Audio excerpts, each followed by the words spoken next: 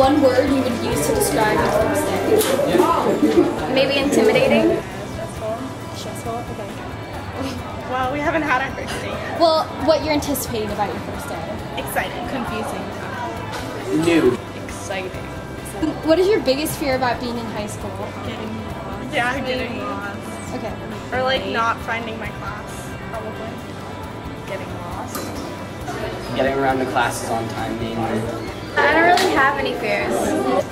Like getting overwhelmed with like extracurriculars and like classwork. How do you plan on getting involved in this? Um, I want to join the soccer team and also join some clubs. I think I'm gonna run for the um, Student council. Yeah, and then I'm gonna do basketball. Cool. basketball, and she's in volleyball right now. Oh yeah, I'll probably use my sport. What kind of sports? Um, I did softball last year. Okay. What do you think of the difference is between middle school and being at the high school? Well, this is a lot bigger. Yeah. Our old school was like a hallway long and had like a hundred people. So And, like the hallways and stuff is much, it's easier to navigate around than it is than it is here. more freedom. What about the school year are you looking forward to the most? Learning. Yeah, making new friends.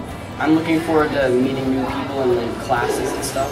What should the freshmen expect their first couple of days at Mason? Uh, expect to get lost once or twice. Expect to feel a little bit overwhelmed, um, but then also expect to find new friends, find old friends, rekindle friendships, find a, a collective of educators who can't wait to work with you and are excited about the promise of a new school year.